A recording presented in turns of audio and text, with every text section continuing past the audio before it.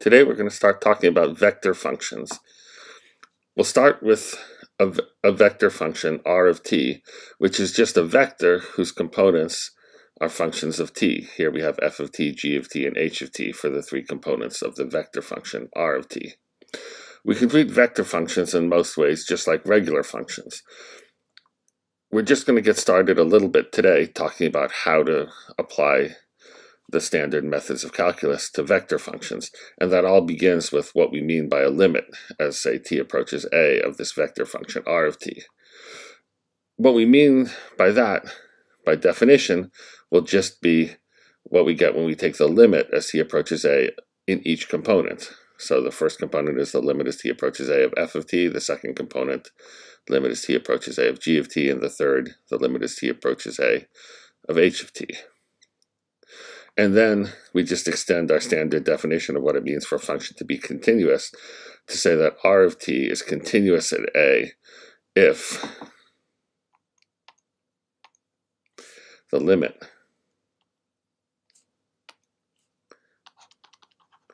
as t approaches a of r of t is just exactly r of a. And of course r of a is just the vector f of a, g of a, h of a, like that. Now, this is all preparing us to talk about differentiation for vector functions. Formally, this comes in the next section, but you can see right away how we should make that definition. We'll talk about the derivative of the vector function, r prime of t, as the limit as, say, delta t approaches 0 of r of t plus delta t minus r of t over delta t. And then if we just separate that into components, what we get is a limit as delta t approaches 0 of, then in each component we'll have the same sort of limit expression. We'll have the limit as delta t approaches 0 of f of delta t, I'm sorry, t plus delta t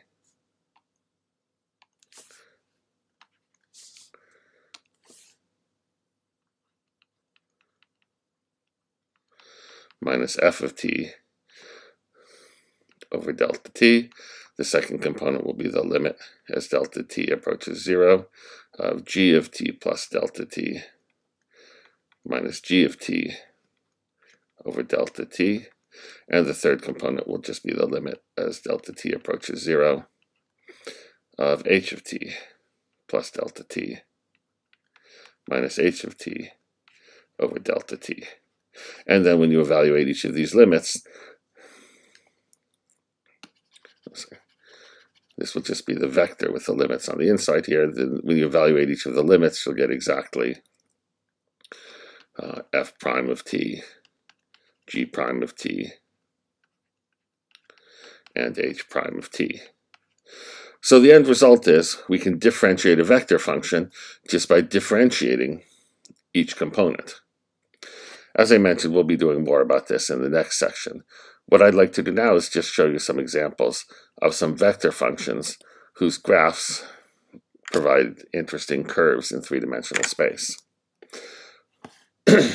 so, what do we mean by that? We can just look at this vector function, r of t, given by f of t, g of t, h of t, where the parameter t runs from a to b, and we can think of that as being a curve which begins at the vector r of a.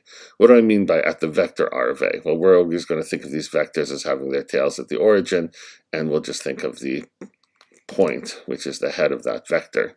So, for example, when we have r of t is cosine 5t, sine 5t, and 2t, when t equals 0, we'll have r of 0 equals 1, 0, 0. And that's exactly this vector, like that. This is the x-axis coming down here to the left. This is actually the y-axis going uh, in the direction towards the right. And the z-axis is our vertical axis. So the vector 1, 0, 0 is this vector, and when we say the curve starts at that vector, we mean at the point at the head of that vector right there. Then if we look at different values of t as t increases, I've shown the picture here. Uh, this shows the picture where t goes from 0, I believe, until 5. That's just the, the way I've drawn this. When t equals 0, we start here. As we increase t, when it goes all the way around to t equals pi, we get to here. I'm sorry, 2 pi. Uh, oh no. Uh, here we have cosine 5t and sine 5t. So here, this will correspond to the value when t is equal to 2 pi over 5.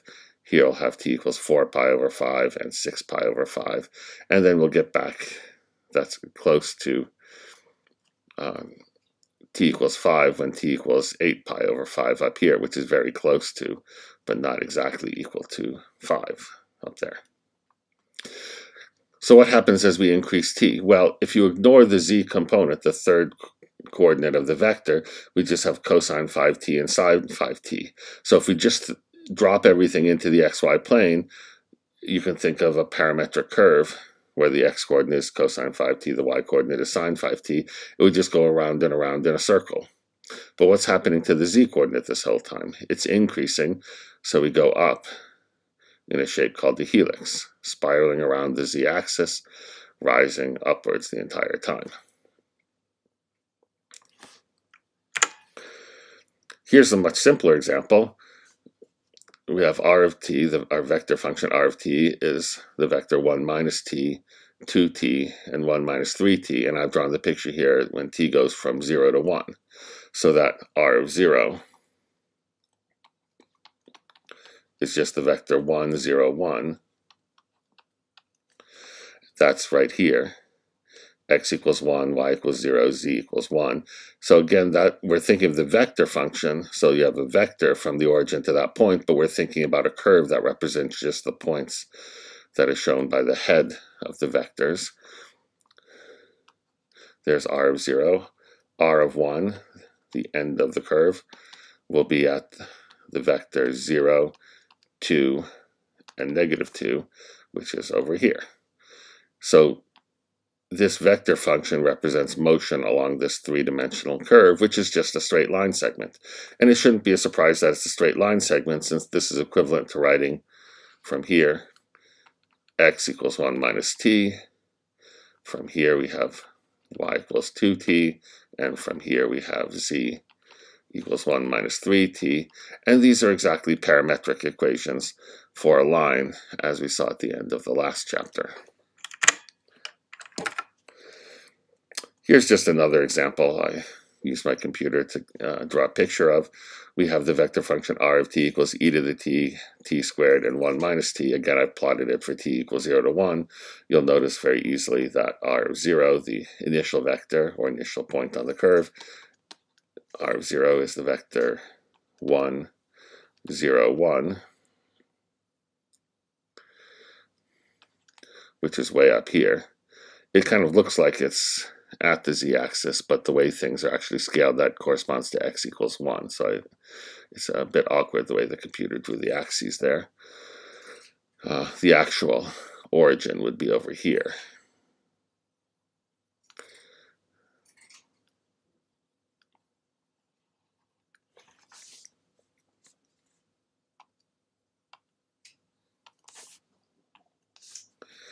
So I'll try to fix this picture a little bit like that. And so this is one unit away from the z-axis in the x direction. And then as t increases to 1, we have r of 1 is the vector.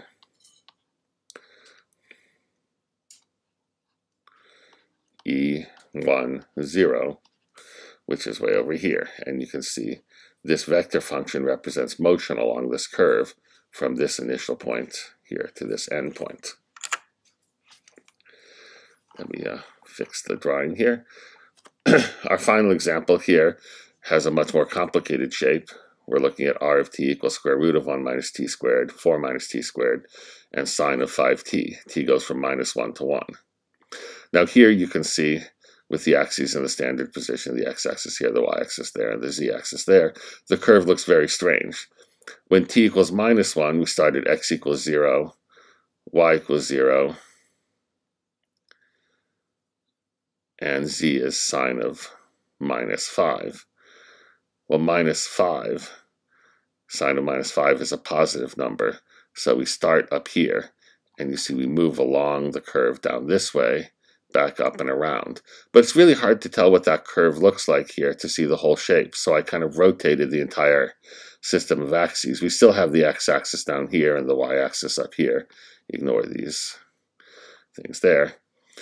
And when you see that, you see that the shape actually has, if we follow from t equals minus 1 to t equals 1, we're going to start at the x-coordinate equals 0. The x-coordinate will go out to 1 and back to 0. So following the curve along this way. The y-coordinate will start at 0 go out to y equals 4 and back. And the z coordinate starts up at sine of negative 5, which is positive, and it decreases.